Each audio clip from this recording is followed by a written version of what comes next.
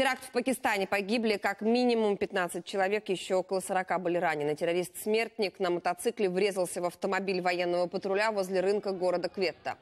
Ответственность за это нападение взял на себя исламское государство. Целью террориста были солдаты, но среди погибших семеро мирных жителей. В городе ввели чрезвычайное положение.